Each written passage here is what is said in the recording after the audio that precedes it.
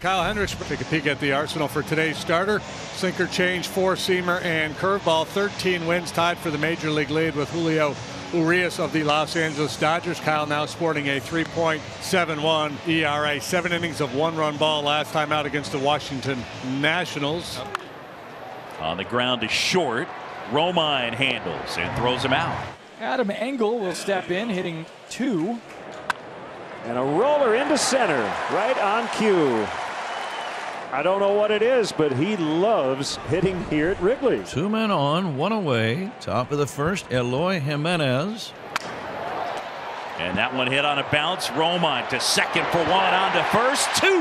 And Hendricks able to get out of it. Six, four, three. They turn it nicely. Lance Lynn out for his 20th start of the year, looking for his 11th win. His ERA a touch over two. A lot of strikeouts in 108 and two thirds. He struck out 122. A 3 2 home. He got him looking. Ortega will not argue. Well, sometimes you get outguessed, and I'm not sure exactly what he's looking for, but he gets a heater right down the middle. Here's Schwindel, former Royal and Athletic. And he struck him out, and that'll do it. Two Ks in the first. Nothing, nothing from Wrigley. Greg Deichmann making his major league debut. On a hop, it's Hernandez in short right to make the play. Robinson Chirinos, the catcher for the Cubs, will bat with two out in the inning. High fly to right. Vaughn in the corner makes a catch. After two from Wrigley Field, nothing, nothing. Cesar Hernandez will be first up against Kyle Hendricks. And that one in there got him looking. Hernandez didn't like the call from Brian O'Nora It sticks around to let him know that's three straight strikeouts. So here's Anderson now. Tim 0 for 1 grounded out his first time. Got right in on his hand. Short hopper knocked down. Romine throw to first. Out at first. And they go one, two, three again. Sergio Alcantara playing second base for the Cubs. 24 year old infielder. Line right to Tim for the out. Hendricks, a career 099 batter, and that one right off the backside of Lynn. Anderson will throw to first and get him. One to six to three. He gets an assist out of that. Yeah, I think Lance is going to be in pretty good shape after that. It hit him in probably the best spot you could hit him. And they've got something cooking for Eloy. Two on, nobody out. Ring him up. and he does. And a big out. Andrew Vaughn will hit with runners at first and third. One away, no score. And a liner into center will give the White Sox the lead. Here comes Engel. It's one to nothing. Andrew Vaughn staying hot. Seby Zavala will look to bring in a few more. Two out in the inning. First and second for the Sox. Base hit to right. Abreu around third. Here's the throw by Deichmann. It's 2 nothing. And that was a big hit, certainly punching it through the right side. RBI number nine. Better than that.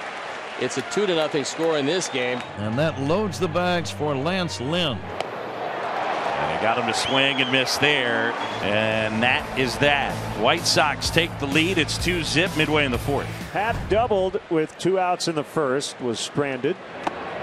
And strikes him out on a foul tip. Number three for Lynn. Here's Schwindel. Swing and a miss, back-to-back Ks. Well, the guys like Lance Lynn, he knows how to do that. Greg Deichmann in his major league debut grounded out his first time. That one in the air out towards right field and it finds space. First major league hit for Greg Deichmann. And the dugout waving for the baseball. Andrew Romine, the hitter. 2-2 on the ground to Tim down to a knee. And Lynn with that shutdown fourth. And the Cubs will have the bottom three in their order here in the fifth. Swing and a miss, strike three. It's the fifth strikeout for Lance Lynn today. So two walks here in the inning. Two away, and it'll bring up Matt Duffy. Called strike three. So Lynn gets out of it. The Cubs strand two. Eloy is 0 for 2 against the team that brought him into the professional ranks of Major League Baseball. Driven to right in the corner. And it's going to get to the wall as Eloy will make his way to second. He's got a double. His base hit last night was to right field. This time he hit it a bundle to right field. One down, the right-handed batting Seby Zavala to step in. Payoff pitch. And that one punch coming home. And they get the tag on Goodwin and the out at the plate. Alcantara with a strike and on contact with Goodwin coming home, they get the second out. Lance Lynn will step in. He'll take this AB. Bases loaded, two away. And Hendricks carves up Lynn, and the White Sox leave him loaded. Another good outing today for Kyle Hendricks. It's 2 0 White Sox. We're midway in the sixth. Frank Schwindel, the first baseman for the Cubs, is 0 for 2 with two strikeouts. He struck him out for the third time. First pitch now to Greg Deichmann. It's a fly ball into left. Anderson going back. Vaughn coming on. He'll make the catch. Go down to his knees and just miss a collision with Tim Anderson. That was scary. Adam Engel will come up with one out in the inning. That is a fair ball in the left field corner. Three hit day for Adam Engel. Maybe he can steal third again. Brian Goodwin to bat for the first time today. Swing and a miss, and Jewell able to get Goodwin, and he pitches himself out of the jam. So we will get a pitching change. Lance Lynn was brilliant once again, and he'll get a nice ovation from the Sox fans in the ballpark. So here's Bote now with runners at the corners. Line into left field. Vaughn makes the catch. Tagging from third is Romine. Bote with a line drive sacrifice fly, and it's a 2-1 game. Patrick Wisdom got plenty of power. So here's the situation. Two away. Runner on first. Two to one Sox. The payoff pitch in the air to right. This will get him out of it. I believe Goodwin backpedaling. He's got it. And after seven, it's 2-1 White Sox. New pitcher is on to face Cesar Hernandez. Left-handed reliever Kyle Ryan. Lefty home. Fly ball well hit. Gone! What'd you say about power? That's his side. I, for me, that's not a real good pitching change for David Ross. Because you turn a guy who's hit 18 home runs, many more home runs right-handed than left. You turn him around to hit right-handed, and he adds a couple more. It's a four to one game. Bottom of the eighth, Craig Kimbrel back at Wrigley Field and pitching against the Cubs this time. Lined out into left center field, and that's a base hit. Duffy'll stop at second. Schwindel with a knock. Two outs, two on. Andrew Romine at the plate. Swing and a ball drilled in the air, right field. That one going back, and it's gone. Home run for Romine, and we are tied.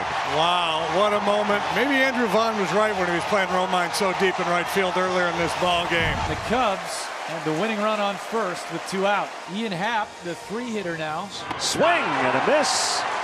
Four strikeouts for Hendricks. We go to the 10th inning. Sox four, Cubs four. Jose Abreu's the runner at second base. Goodwin came on in relief of Eloy Jimenez. That was back in the top of the sixth. Driven to left. It's deep. It is gone. Brian Goodwin with a homer. That was a line drive rocket, a no-doubter. Gavin Sheets is inserted as the pinch batter in the pitcher spot. Ground ball base hit. Here comes Vaughn. It's a three-run lead. Gavin Sheets comes through. Tim Anderson will bat. Go for five today. Three groundouts, two strikeouts. Tim with a base hit. There's the salvage. It's eight to four. And the Cubs need base runners. They trail by four. The bottom of the 10th inning. Frank Schwindel leads it off. In the air, towering fly ball left field, and that one is gonna go. A two-run homer for Frank Schwindel, and just like that, the Cubs get two back. It's 8-6. So here's Davies, and he drives one out in the left center angle on the move. He's got it, and the White Sox win this wild one in 10 innings. 8-6 the final.